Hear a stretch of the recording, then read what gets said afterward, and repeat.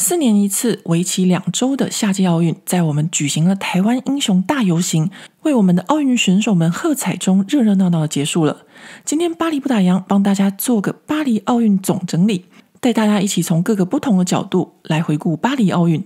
首先是巴黎奥运的比赛场地，这次大家应该看到不少巴黎奥运的美照，像大皇宫的剑击或跆拳道项目，还有凡尔赛宫的马术竞赛。要了解这些比赛场地的安排，就要深入了解这次巴黎奥运的规划宗旨。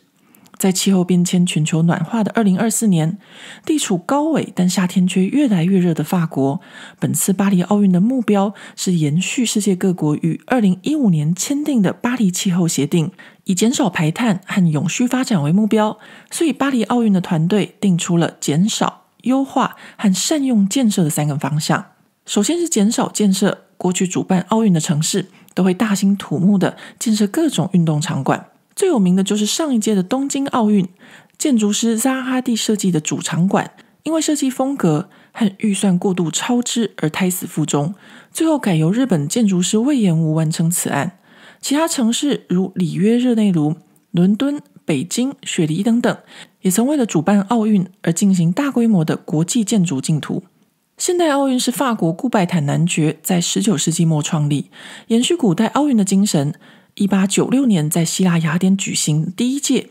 第二次是在法国巴黎，后来在一九二四年也在巴黎举行。现在一百年后又回到巴黎。然而，在地小人稠的巴黎本身就有不少的运动场馆，那是否还有必要为了举行奥运而锦上添花的新建比赛场馆呢？所以这次为了巴黎奥运而新建的全新场馆只占了百分之五，那就是荷兰和法国建筑团队设计的水上运动中心，位于巴黎郊区桑德尼的选手村和拉沙贝的城门口的艾迪达体育馆。其他百分之九十五的比赛场馆都是现有或临时搭建而成的。说真的，只有百分之五是新建的场馆。换个角度来看，这也代表了法国平常就很重视体育活动，所以现有国际标准的场馆不少。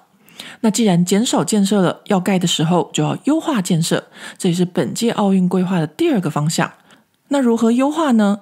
新建的水上运动中心使用百分之五十的木材，屋顶上有五千平方米的太阳能板，可以供应运动中心的整体运作。运动中心的大厅、餐厅还有酒吧的家具，都是用附近工地回收的废弃木材来制作。观众席的座椅也是由当地学校收集而来的再生塑胶做成。和水上运动中心一样，位于巴黎北边塞纳圣丹尼省的选手村，与奥运期间必须要接待九千多名的运动员和工作人员。塞纳圣丹尼省这一区是巴黎近郊有很多移民的地方，这些年来各种大大小小的社会问题不断，是法国政府用都市发展以改善地方治安的重点区域。因此，奥运选手村的规划以未来聚落为目标。奥运结束后，将会为此区带来两千八百套住宅，还有学校、学生宿舍、饭店、办公室、公园绿地等，以满足日常生活的需求。在气候变迁、全球暖化的情况下，巴黎在夏天热浪来袭时，有时气温会比台湾还高。这样的情况有时候是两三天，有时候是五天，或长达一个礼拜。但是地处高纬的巴黎，冬天还是比夏天热浪来袭的时间长。因此，一般民宅需要的是暖气，而不是冷气。而冷气也不是对抗气候变迁的最好方法。因此，法国政府这几年来用各种优惠政策，鼓励和规定民众加强住宅的节能，利用房屋本身的构造就可以达到保暖和隔热的效果。在一个隔热状态良好的房子里，即使在热浪来袭时，室外温度高达四十度，室内没有冷气也可以维持在二十几度的气温。所以，巴黎奥运选手村的建筑就是以节能和隔热为目标建造，采用木材结构和各种低碳材料。建筑空间的设计以自然采光和通风为节能减碳的目标，企图用建筑外墙隔热、地板降温，还有电风扇来迎接今年夏天的巴黎奥运。然而，建筑本身的确是可以对抗热浪，保持室内低温，这对一般民众的日常生活不会有什么问题。毕竟，热浪来袭时，大家也知道不要过度的运动和流汗，还要补充水分。但是，对运动员来说，这却是一场赌注，因为就算热浪来袭，他们也要大量的运动。所以，法国政府在压力下决定加装了两千五百台冷气。最后是善用建设。既然决定节能减碳、减少新建工程，那就要善用现有的空间。自从二零一五年赢得奥运主办权之后，巴黎市政府就借着举办奥运的机会，开始整修市中心的排水道、瓦斯管线，规划道路和各个运动场馆，以都市永续发展为目标。而在减少新建物的同时，就要善用既有建物，希望可以为这次的巴黎奥运带来不一样的风格。是不是真的不一样呢？我想这两个星期，大家从电视的转播画面，应该就有发现，巴黎奥运真的很有自己的风格和美感。这里我们先说说在法兰西体育场进行的田径赛。法兰西体育场是法国举办大型足球赛和演唱会的重要场馆。巴黎奥运为了让参赛的运动员在跑道上可以脱颖而出，可以在现场或者在电视转播荧幕上能够显而易见，所以就放弃了田径跑道常见的砖红色和蓝色，参考了大会指定的色彩，最后选择了紫色。而这个紫色的跑道其实是使用了百分之五十回收或可再生成分的生态责任跑道。一九零零巴黎世界博览会落成大皇宫，它有一个巨大的玻璃屋顶。香奈儿从二零零五年以来就在这个具有历史意义又壮观的空间举办服装秀。香奈儿品牌也曾经资助大皇宫的翻修工程。为了本届奥运，法国花了三年的时间，耗资四点六亿欧元修复大皇宫。击剑和跆拳道比赛就在这个具有历史意义的建筑内举行。另外，还有在凡尔赛宫内举行的马术竞赛。法国政府也借此机会翻修了凡尔赛宫最知名的镜厅，还有凡尔赛花园内的阿波罗喷水池。巴黎市中心的协和广场则搭建了临时性的 BMX 和滑板赛场，埃菲尔铁塔前的战神广场则是举行沙滩排球的比赛场地，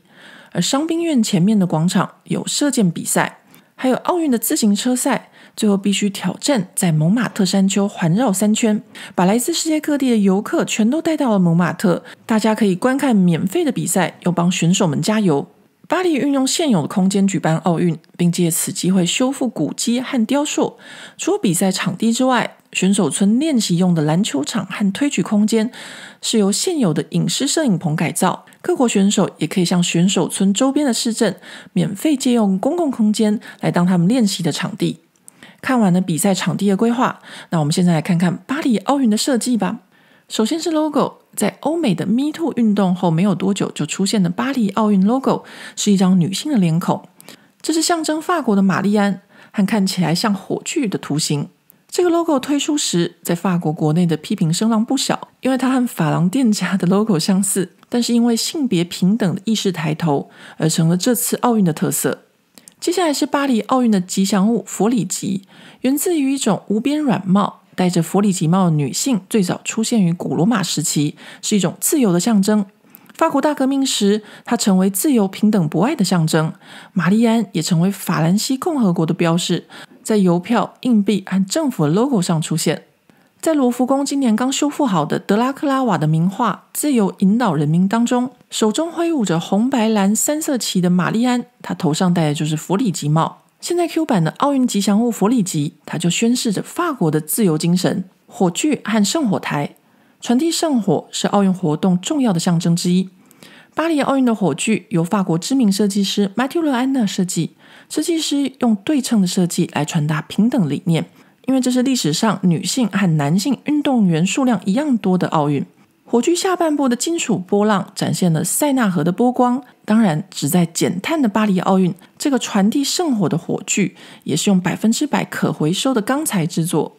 而巴黎奥运开幕式和闭幕式的圣火台也是出自于马蒂勒安娜之手。设计师选在杜勒利花园安置热气球生火台，向发明热气球的孟格菲兄弟致敬。会飞起升空的热气球在此代表法国自由，而刚刚的火炬是平等。而热气球下面的大型圣火台，则是象征了博爱。另外，曾经有不少人在奥运开幕式时看到升起的热气球，而担心火炬会引起祝融的危险。其实，这个热气球是由法国电力公司特别研发出来，用水蒸气和 LED 灯的安全热气球。颁奖台与奖牌，运动员付出一生的心血努力练习，为的就是最后站上颁奖台的那一刻。而奥运的颁奖台是运动员体育成就的最高荣誉。今年巴黎奥运希望在奖牌和颁奖台之间建立一个连续性，同时又要能代表主办国的荣耀。埃菲尔铁塔就成为这两者之间的连结元素。巴黎奥运的颁奖台设计概念源自于埃菲尔铁塔，正立面是铁塔金属结构的图形，灰色台阶来自巴黎著名的灰色屋顶。站在颁奖台上，象征着奖牌得主非要在巴黎的天空上。既然本次巴黎奥运以永续为主轴，那颁奖台的制作也符合永续精神。主体用木结构制作，外面是百分之百的回收塑胶。而本届奥运的奖牌是由 LVMH 集团下的珠宝品牌修妹设计。修妹曾经为拿破仑的加冕典礼设计和制作加冕宝剑，后来更成为法国的皇室珠宝供应商。这次奥运奖牌的设计延续颁奖台埃菲尔铁塔的元素，每块奖牌上都用珠宝爪钉镶嵌着一块六边形的埃菲尔铁塔圆铁。六边形是修妹珠宝从拿破仑时期的档案中找出来的密封设计元素，同时六边形也是法国国土的象征。圆铁的周围是锻造出来的放射状光芒，象征着这些运动员在全世界人们的目光下，在比赛中大放光彩。奥运奖牌另一面是希腊神话中的尼基女神，她站在一八九六年现代奥运重启的雅典帕纳辛纳克体育场前，后面两侧分别有雅典卫城和巴黎铁塔，而帕运奖牌的另一面则是从下往上看的巴黎铁塔。而制作金牌和银牌所使用的金属是经过国际珠宝责任议会他们所认证的百分之百回收贵重金属。奖牌的含银量高达国际奥委会规定的九二五千足，而制作铜牌所需的铜、锡和锌的合金，则是用巴黎铸币厂的废料回收制作。那说到奥运金牌，我们这边就要说一下，网络上盛传巴黎奥运的金牌相较于东京奥运的金牌会掉漆落色。说东京奥运金牌是百分之百含金量，而巴黎奥运金牌只有百分之一的含金量。根据法国媒体的查证，这则推文来自于一个俄罗斯散布假消息的账户，而且呢，在这个丹麦羽球选手维克多安塞隆 IG 的分享影片上，他只是展示了他的东京奥运金牌和巴黎奥运金牌，他并没有说他的巴黎奥运金牌会掉漆变色。那事实上，无论是东京奥运或是巴黎奥运的金牌，都不是百分之百的纯金。金牌的实体是九二五千足的银，千足 milium 是法国计算金或是银这些贵重金属的成色的一个单位，所以金牌的实体是九二五千足的银，再根据国际奥委会的规定，镀上六公克的黄金，这样每一块金牌都含有百分之一的黄金。而奥运的奖牌其实没有那么完美。过去也曾经有两名运动员抱怨过东京奥运的奖牌上有小缺口。而曾经获得东京奥运和巴黎奥运两面金牌的台湾选手王麒麟，他也发现他的东京奥运金牌因为太常展示而出现斑驳老旧迹象。那其中最夸张的就是二零一六年的里约奥运，有将近一百三十位得奖选手将他们的奖牌退还给国际奥委会。官方海报。巴黎奥运的官方海报是法国设计师 Ugo Gattoni 设计的，他以超现实主义的风格和丰富的细部呈现。海报上有巴黎知名的古迹和法国的象征，还有奥运的比赛场地。海报的每个角落都有不同的场景，观看时就像散步在巴黎奥运之中。设计师并呈现了一个乌托邦的想象，巴黎是一个开放的运动城市，并用缤纷的色彩创作出欢乐节庆感。而由于今年奥运和帕运一起规划，所以官方海报也是两张一组的双联画的方式。这个海报在巴黎奥运官方商店都有贩售，而最受欢迎的就是用海报图案做成的拼图，因为有许多精彩的细节而受到拼图迷的喜爱。奥运开始不到一周，它就销售一空了，所以你现在如果在网络上看到有贩售，要特别注意是否是盗版的拼图。视觉设计。本届巴黎奥运的视觉设计以海明威《流动的响宴》为设计主轴。奥运是一个全球三亿人在电视机前观看的活动，因此视觉设计的核心概念就是用大胆而缤纷的色彩，企图让大家一起参加这场流动的响宴。在这个目的下，巴黎奥运的视觉规划围绕着四个目标：第一，庆祝，用多彩多姿的颜色欢迎四年一次的奥运盛事；二，升华。展现巴黎对风格和优雅的坚持，并回应一百年前的装饰艺术运动。三、合理化，呼应节能减碳的巴黎奥运主旨。四、个性化，巴黎奥运是给所有人的运动会，所以要适合各种不同情况的视觉设计。确定了这些目标后，巴黎奥运的视觉设计还加上了一个巴黎很重要的元素，就是巴黎市中心的石板路。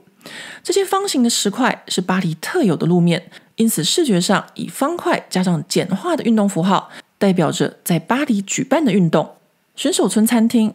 选手村的餐厅和设计无关，但是巴黎布达昂原本就是一个美食文化频道，所以这里呢还是要跟大家分享一下。话说法国也算是个美食大国，所以这次奥运选手村的饮食规划也是花了整个团队不少的时间和精力。但怎么一开始就传出负面批评呢？像美国体操金牌得主 Simon Biles，他就觉得巴黎奥运选手村的餐点不是法式餐点，跟他平常在外面餐厅吃到的不一样。还有英国队从英吉利海峡另一端叫他们自己的主厨来，拜托英国诶，有没有搞错？英国人嫌弃法国人做的菜不好吃，这对美食大国来说听起来就是一个超现实的玩笑。的确，法国人是想要拿出自家最好的来招待来自世界各国的运动选手，但是法国人觉得最好的是什么呢？一吃新鲜在地的食材，所以本届奥运所有的食材大多来自巴黎方圆百里的农场。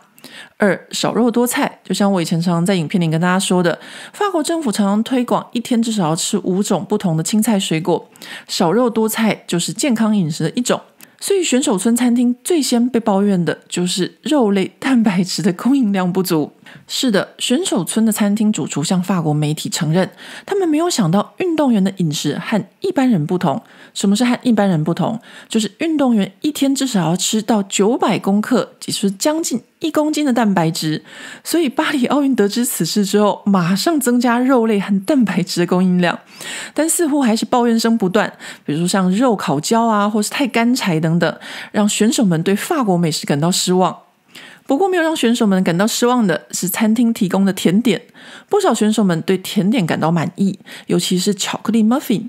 挪威还有一位运动员专门拍了一支影片，分享选手村餐厅的巧克力 muffin 有多好吃。他的影片引来了上百万人观看。后来网络上还盛传巴黎奥运选手村巧克力 muffin 的食谱。而对于选手村餐厅的饮食被抱怨，巴黎奥运的官方回复是。饮食是个人品味的问题，没错。如果你习惯餐餐吃大块牛排或者超辣的水煮牛，法国人做的餐点不合胃口是一定的。所以最好还是像台湾队一样，早早准备好自己的厨师和选手们喜欢的家乡味，安排一个离选手村不远的中继站，选手们还可以线上点餐外送，这才是满足自己国家运动员最好的方法。选手村医疗。巴黎奥运选手村的餐厅被抱怨，但是选手村的医疗却被美国选手大为赞叹。因为美国医疗费用高昂，而法国则是一个有健保制度的国家，所以选手村里配有医疗团队，还有牙医，还有按摩服务，这让美国选手来巴黎参加奥运时，赶紧顺便做个免费的子宫颈膜片检查，或是物理治疗、按摩等等，也成了本届巴黎奥运的另一个插曲。好啦，今天我们看完本届奥运的主轴，下一集再跟大家分享巴黎如何借由奥运行销这个城市，还有各种奥运的周边活动，让这个城市在奥运期间到处都有活动，真的是一场流动的飨宴。